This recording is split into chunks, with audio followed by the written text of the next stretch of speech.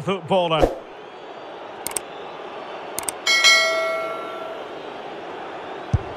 He had to score, and he does.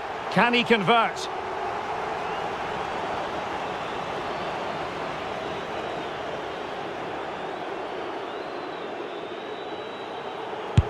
Well, he stuttered a bit, but the goal has been given. Mental preparation is such a big part of this.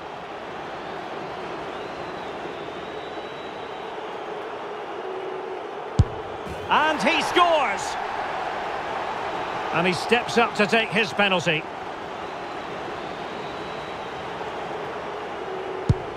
So lethal in front of goal.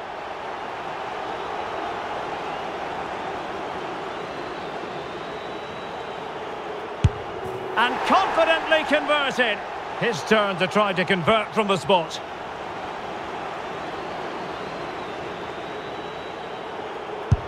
And he's beaten the keeper. And up he comes, doing his best to remain focused. Goalkeeper beaten from the spot.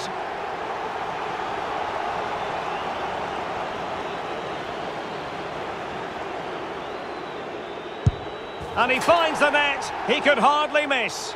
And he steps up to take the shot. Job done from the spot. So much pressure. If he fails to score, they lose.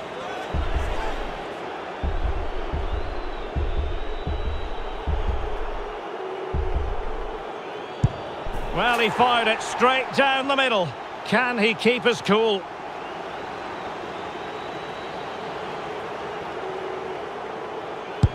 And slotted home right into the bottom corner. Excellent penalty.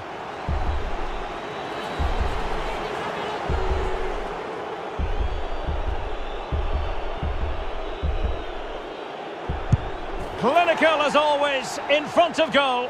Can he get the better of the keeper? And it's gone in.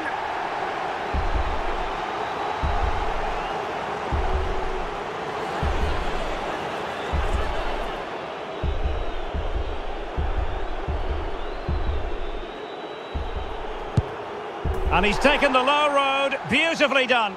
Composure is so important under these trying circumstances. And the keeper denies them from the spot. A goal here to finish it.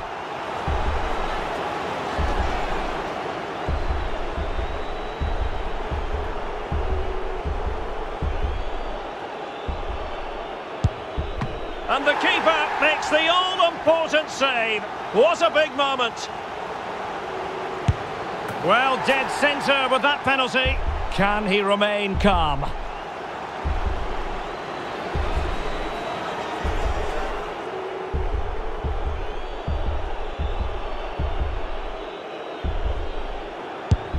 And the penalty converted down the middle. Can he convert?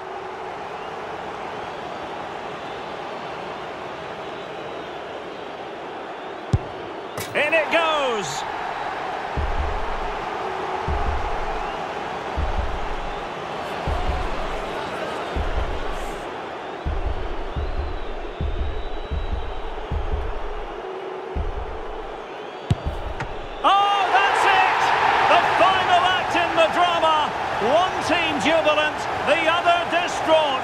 Well, what an ending to a very good tournament, and I think they fully deserve to win it. Maybe not in this manner, though, but it was great entertainment.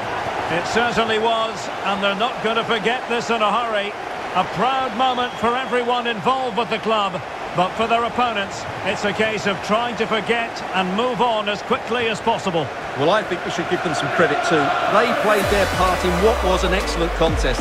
Some of their football was brilliant. Yes, fair play, Stuart. The party in full swing now. It's going to be quite the night of celebration here.